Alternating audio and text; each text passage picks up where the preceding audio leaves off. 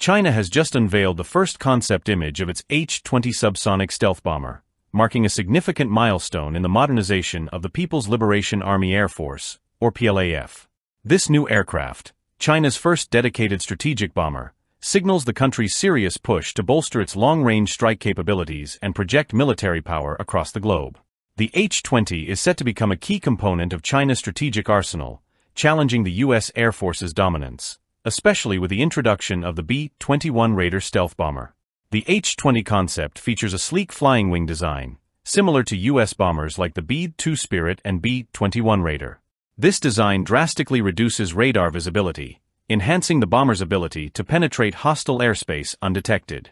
While details remain scarce, experts speculate that the H-20 will be designed for long-range missions, capable of carrying both nuclear and conventional payloads.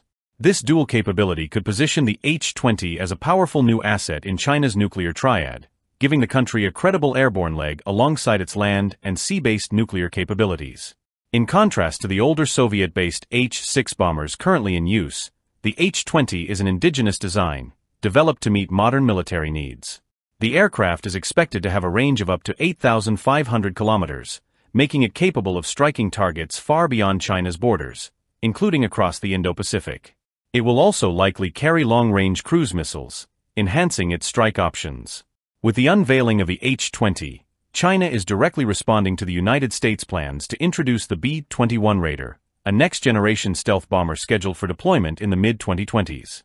The B-21 is set to replace the aging B-1 and B-2 bombers, bringing with it cutting-edge stealth technology and advanced modular systems for future upgrades. If the H-20 can match or even surpass some of the B-21's capabilities, it would significantly boost the PLAF's ability to conduct strategic bombing missions. Both the H-20 and B-21 Raider are designed to operate in high-threat environments, where advanced surface-to-air missile systems and radar make deep penetration difficult. With its advanced stealth features, the H-20 is poised to challenge U.S. and allied forces in regions where American air power has traditionally been dominant.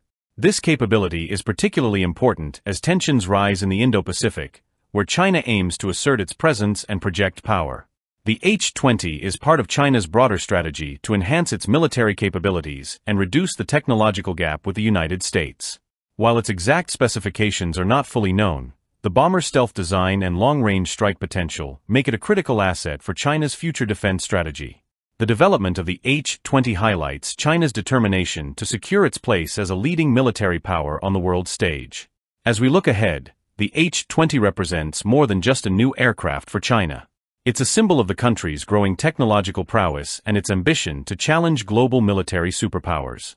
With its advanced design and strategic capabilities, the H-20 could play a crucial role in China's military posture for years to come, reshaping the balance of power in the Indo-Pacific and beyond.